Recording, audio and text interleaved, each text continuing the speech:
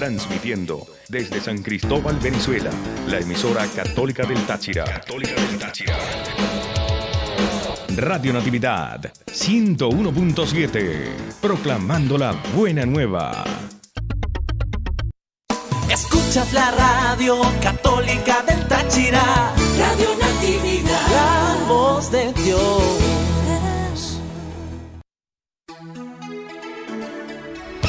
Este es un programa mixto, en horario todo usuario, el cual no requiere la supervisión de sus padres, madres, representantes o responsables. Es una producción nacional. ¿Usted se siente triste, preocupado y no sabe cómo disfrutar de paz en su corazón, en su familia?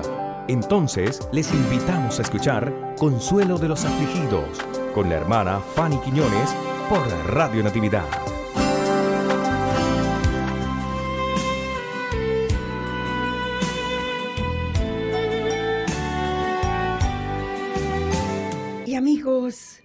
Hoy voy a saludarlos con...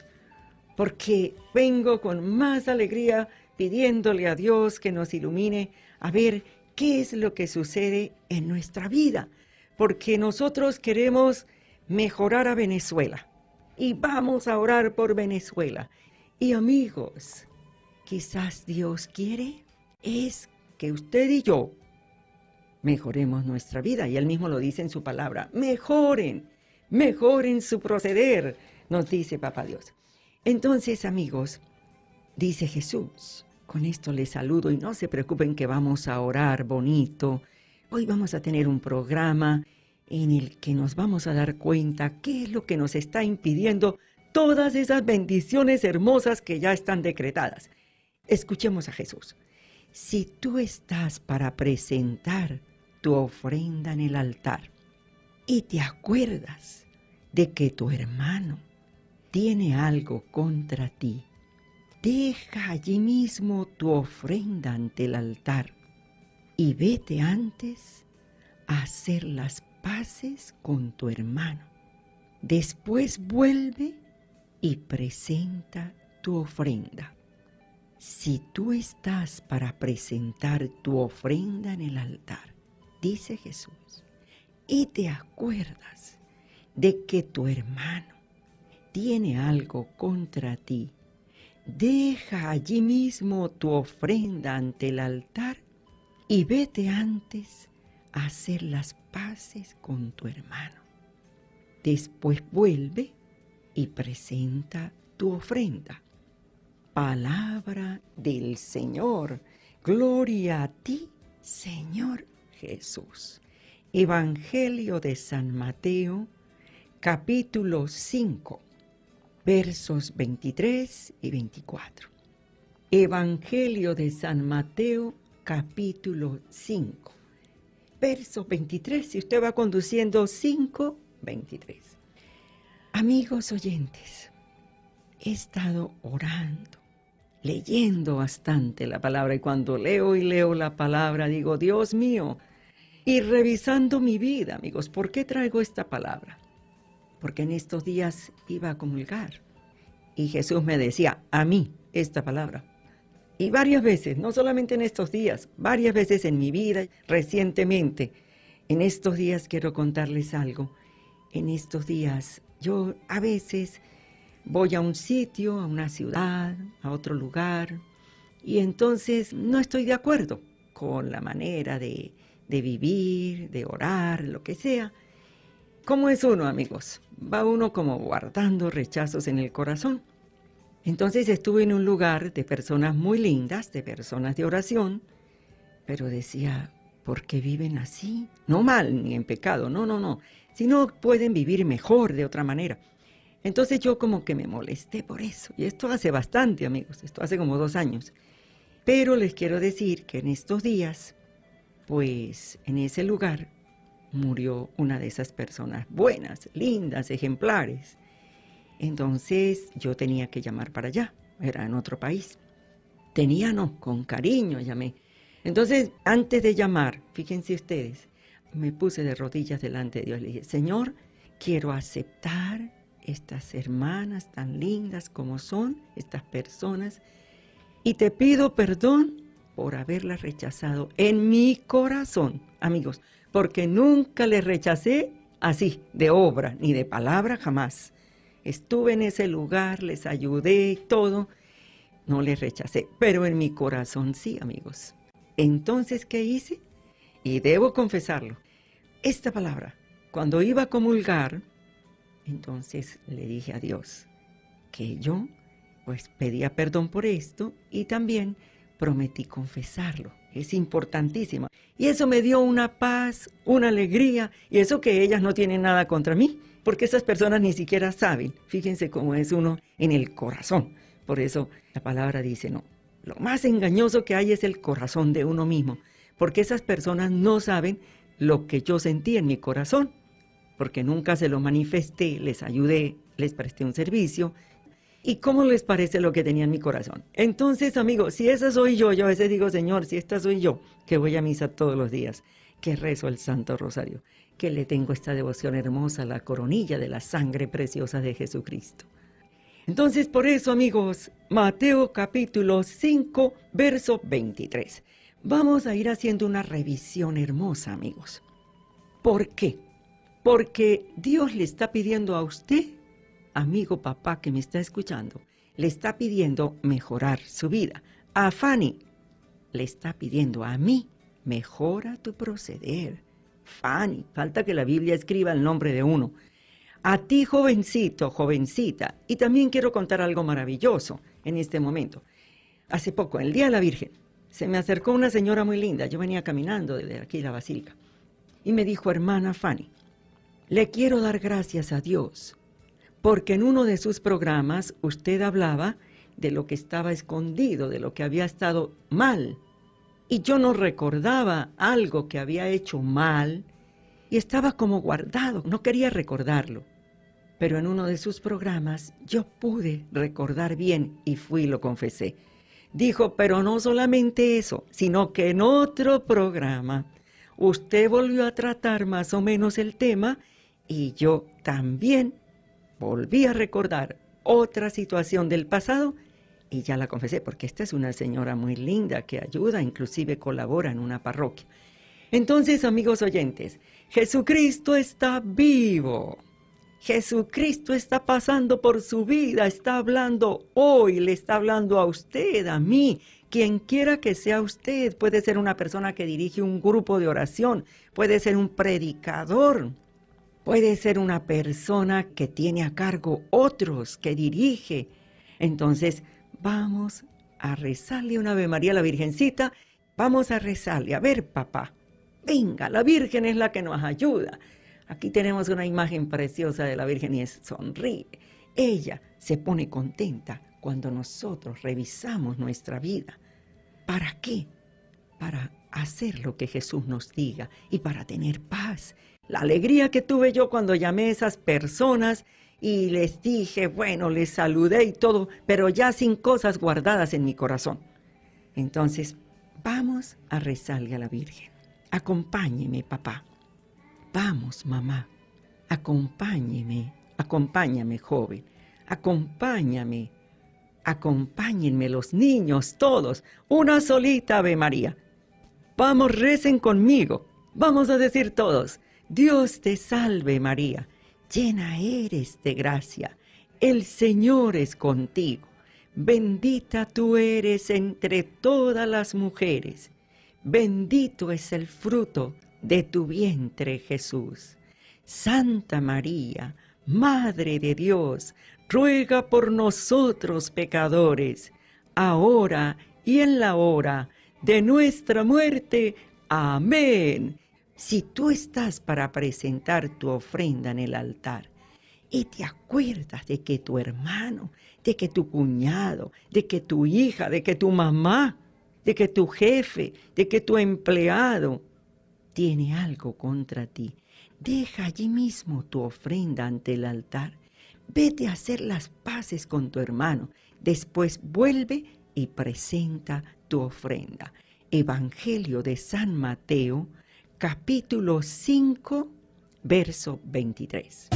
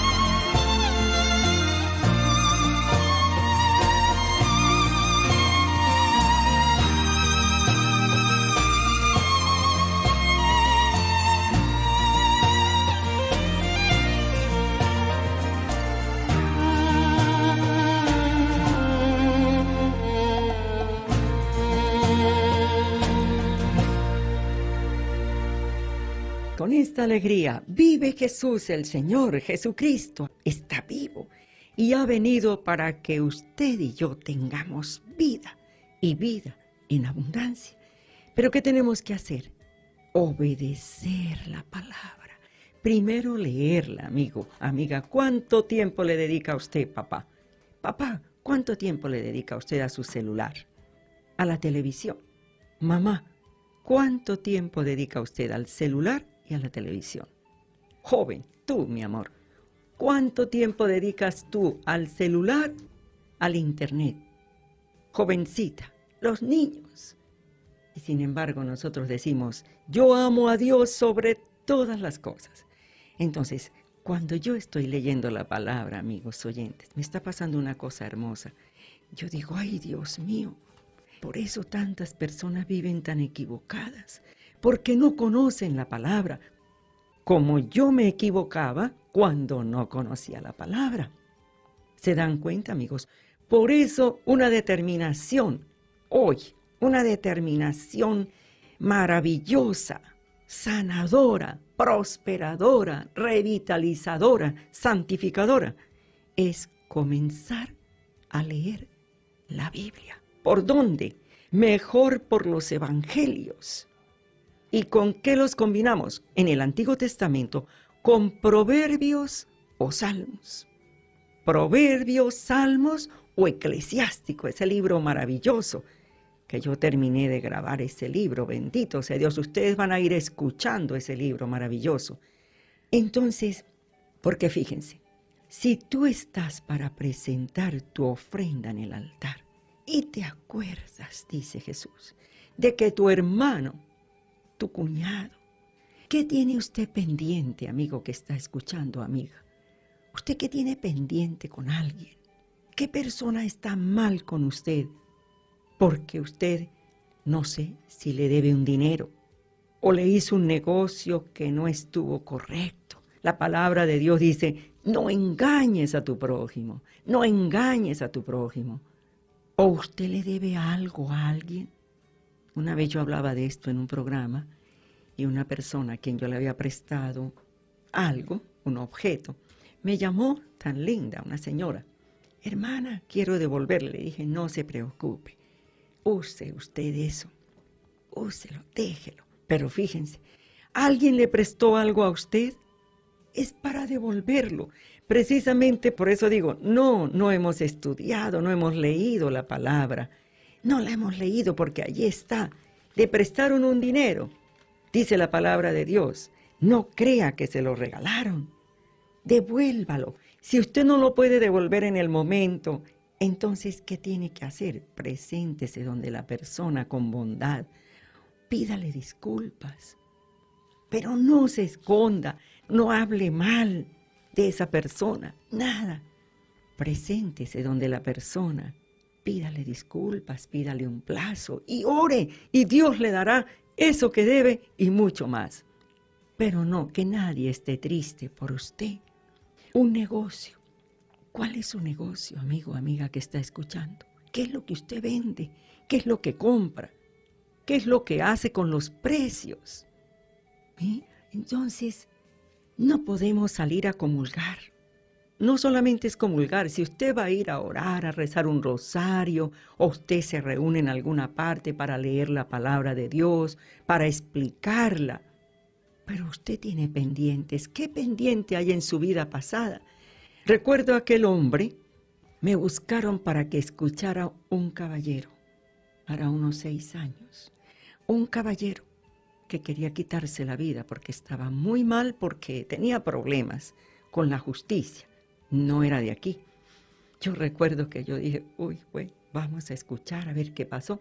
Era un muchacho, tendría unos 23 años, 22, 23 años.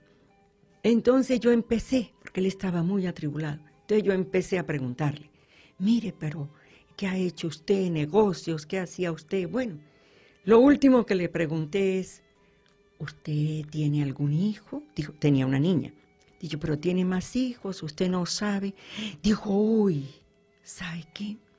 Yo una vez viví un tiempo en tal ciudad y entonces yo dejé a una muchacha embarazada y nunca más ni la volví a llamar, ni supe si nació la criatura. Cuando él me dijo eso, yo enseguida pensé, quizás toda esta angustia que tiene este muchacho y todo esto, mire, algo pendiente en la vida, algo pendiente. No importa, amigos, si hemos cometido errores, que yo también los he cometido, pero lo más importante es, por eso digo, obedecer a Dios. ¿Qué nos dice Papá Dios en el profeta Isaías, Antiguo Testamento capítulo 1? Dice, lávense, purifíquense, no me hagan testigo de sus malas acciones, no me hagan testigo de sus malas acciones. Dejen de hacer el mal, aprendan a hacer el bien, busquen la justicia. Y después dice, y vengan para que arreglemos cuentas, y aunque sus pecados sean colorados, quedarán blancos como la nieve, y aunque sean rojos como púrpura, se volverán como lana blanca. Palabra de Dios. Profeta Isaías, capítulo 1 Antiguo Testamento. Entonces, amigos oyentes, no nos pase como aquel papá. Es una anécdota muy linda, que esta mañana le pedí a Dios que me iluminara. Un papá quería estar un poquito en la televisión y hacer unas cositas. Y entonces estaba el niño allí y el niño como de 6, 7 añitos, el niño. Y bueno, entonces el papá se acordó que tenía un rompecabezas del mapa del mundo, del mapa mundi. Entonces, y no se lo había dado al niño, el niño no lo había armado nunca. Entonces el papá dijo, espérate un momentico, mi amor, y se va y busca el rompecabezas y se lo da al muchachito y dijo, bueno, con esto lo tengo ocupado un rato y puedo yo ver esto. Como al rato, amigos, menos de lo que pensaba el papá, llegó el muchachito. Papi, ya armé el rompecabezas. El papá se quedó, dijo, imposible, el mapa mundi ya terminó. Entonces llegó, venga papi, venga papi. Entonces llega el papá a mirar qué había hecho el niño y entonces encuentra el rompecabezas pero por el lado de atrás, detrás. El niño lo, armó por el lado de atrás. ¿Y sabe qué había en el lado de atrás? Un niño que jugaba así, un niño era lo que había allí jugando. Entonces, ¿qué pasó? El niño pues se puso a armar fue por el revés. Y como era un niño jugando, más fácil lo armó. ¿Qué quiere decir eso, amigos? Si usted quiere cambiar el mundo, si queremos cambiar el mundo, si queremos cambiar a la familia, si queremos cambiar a Venezuela, empiece por usted. Porque a veces queremos armar un mapa de Venezuela hermoso, pero detrás de ese mapa, de ese rompecabezas, vamos a decir, está usted, usted, la figura suya. Es más fácil armar recoger, como dice tan lindo en el profeta Jeremías, dice Papá Dios, con el cántaro roto, es más fácil recoger los pedazos. Y más que no los vamos a recoger nosotros, es Dios, para hacer un cántaro nuevo, una persona nueva. Y si yo soy nueva, si yo empiezo a dejar lo que está mal, a ver qué tengo pendiente con aquella persona, a sacar los resentimientos, a llamar la persona. Eso fue lo que hice en estos días. Yo no tenía resentimientos, pero sí rechazos. ¿Qué hice? Llamé para ese lugar. Saludé y con qué alegría me recibieron esas personas esa llamada. ¿Y qué van a saber esas personas que yo les criticaba internamente? Y a lo mejor hice algunos comentarios también. Entonces, amigos, vamos a escuchar el instrumental y usted va a revisar con esta palabra de Dios si tú estás para presentar tu ofrenda en el altar. Vamos a acordarnos yo también, qué hermano suyo, qué tía, qué sobrino, qué hijo, qué mamá tiene algo contra usted, qué papá, qué vecino, qué vecina, qué compañero de trabajo, qué empleado. Vamos a hacerlo porque luego vamos a orar.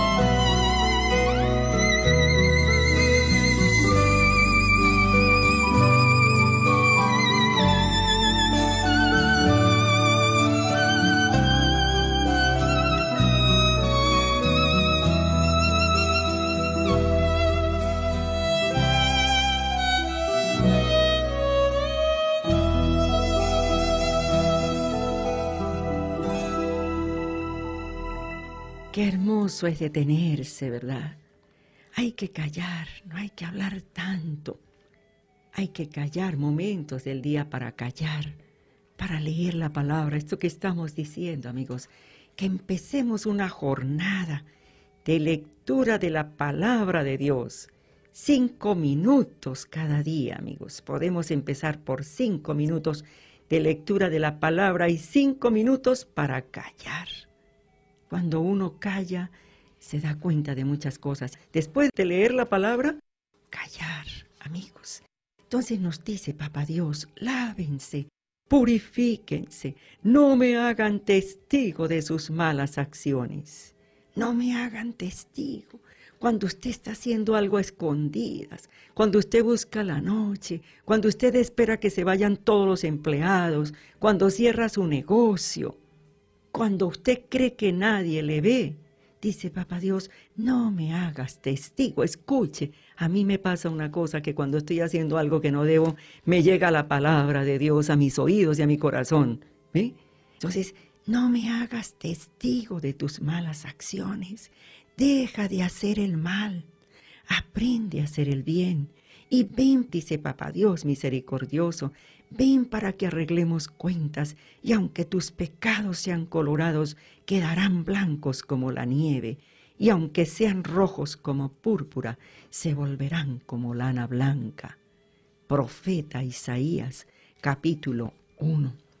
Y dice Jesús, si estás para presentar tu ofrenda en el altar y te acuerdas que tu Espíritu Santo te ayude a acordar de que tu hermano, de que tu cuñada, de que tu suegra, de que tu hijo, de que tu vecino, tu vecina, tu empleado, tu empleada, tiene algo contra ti.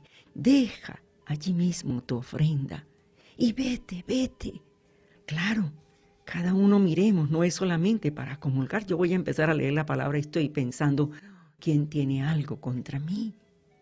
Entonces no es que yo cierre la palabra, le digo a Dios, eso es lo que yo hago amigos, le digo a Dios, Señor, ya entendí, entonces voy a arreglar esto. Sigo leyendo la palabra, pero en la primera oportunidad hago mi confesión. Entonces amigos, vamos a orar porque todos, yo la primera, tenemos. ¿Qué hay en su vida? ¿Un pendiente? ¿Un hijo? ¿Una hija? ¿Alguien a quien usted quedó de ayudar, pero usted prefirió guardar? ¿Hay resentimientos en su corazón? ¿Hay rechazos? ¿Le debe algo a alguien? ¿Está haciendo negocios que no están de acuerdo con la voluntad de Dios? ¿Tiene una relación que no la bendice Dios? ¿Tiene un empleo y usted no lo desempeña como lo haría Jesús? ¿Está tomando algo que no es suyo? ¿Le dieron algo para compartir y usted lo está tomando para su propio bien.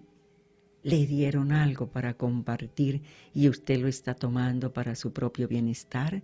Si no lo necesita más, siempre decimos, es que esto lo necesito y lo necesito y para mí. Entonces amigos, vamos a orar porque Jesucristo está vivo, está pasando por su vida, por la mía, y nos tiene un gran regalo que es el Espíritu Santo.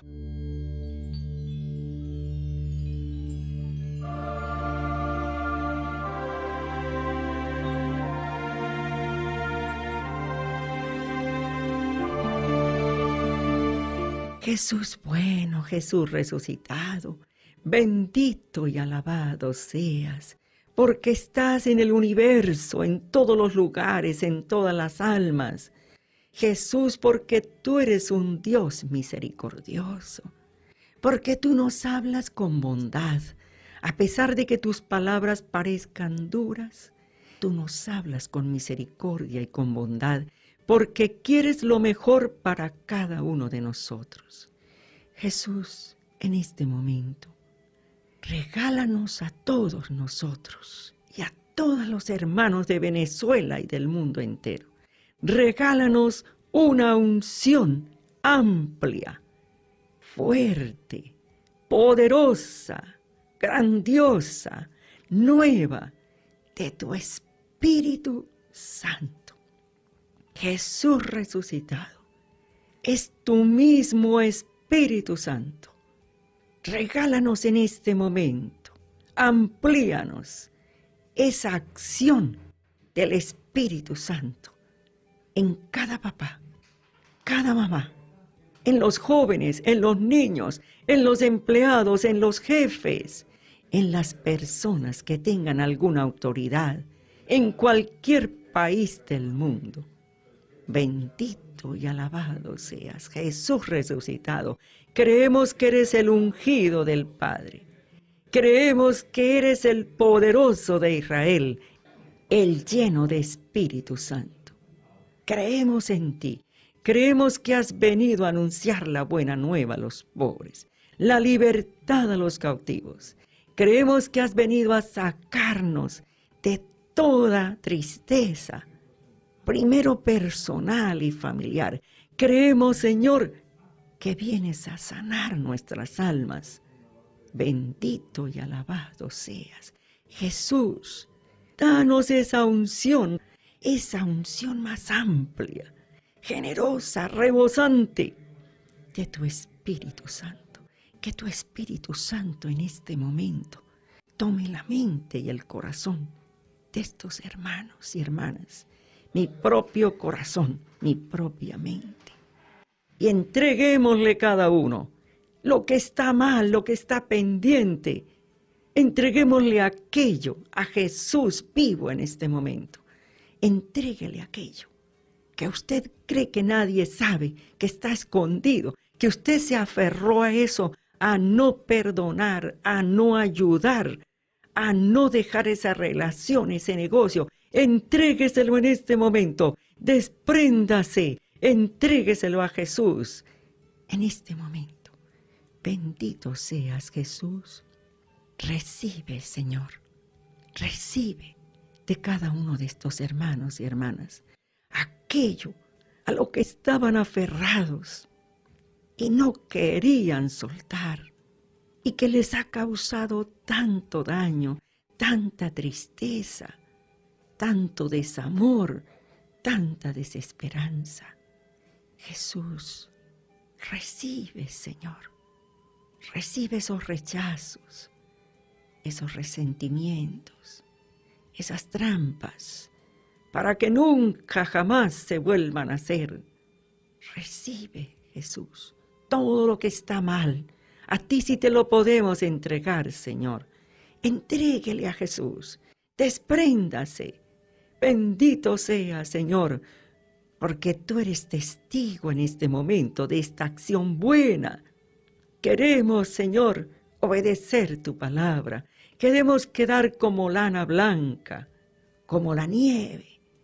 Bendito y alabado seas, Jesús, a través de tu Espíritu Santo. Muestra, Jesús, muestra aquello que hay en esas áreas escondidas, selladas Bendito seas, bendito y alabado seas.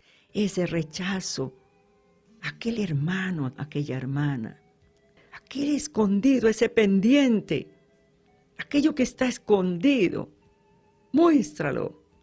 Con la luz de tu Espíritu Santo, muéstralo, Jesús.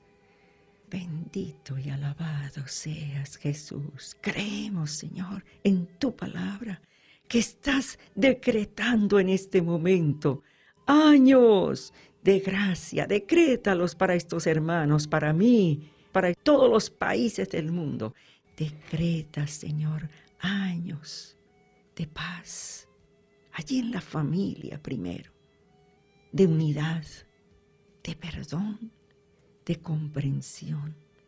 Decrétalos, Señor, porque nosotros creemos que tu palabra se está cumpliendo en este momento. Creemos que el cielo y la tierra pasarán, pero que tu palabra no pasará. Señor, en este momento, abre toda puerta que había sido cerrada a causa del pecado, a causa de resentimientos, a causa de negocios mal hechos, a causa de trampas, de relaciones no permitidas por ti. Abre esas puertas, Señor, y bendice abundantemente a cada uno de estos hermanos y hermanas del Táchira, de Venezuela, del mundo entero, donde esté llegando esta señal. Bendito seas, Señor. Bendito y alabado seas. Y cubre Jesús y sella con tu sangre preciosa a cada papá, a cada mamá, a los jóvenes, a los niños, donde quiera que se encuentren. Y cubre y sella con tu sangre preciosa todos los lugares, los hogares, los negocios, los automóviles, las carreteras de este país santo y de todos los países del mundo. Y sobre todo, Jesús, sella con tu sangre preciosa nuestras mentes, nuestros corazones, para que de nosotros solo salgan palabras y acciones buenas, honestas, justas y santas. Amén. Amén y amén.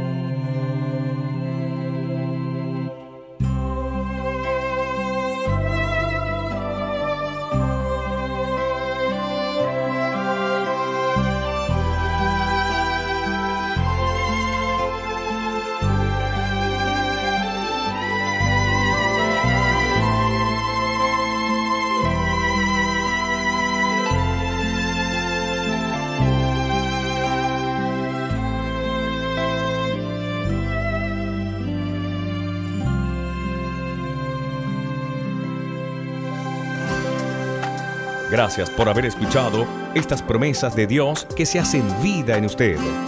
Gracias por creer que todo es posible para Dios y por haber estado en sintonía del programa Consuelo de los Afligidos con la hermana Fanny Quiñones a través de Radio Natividad 101.7 FM.